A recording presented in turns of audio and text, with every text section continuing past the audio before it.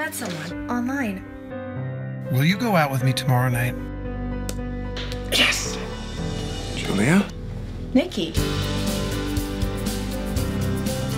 Wow, look at that moon, huh? It's beautiful. You guys were crazy about each other.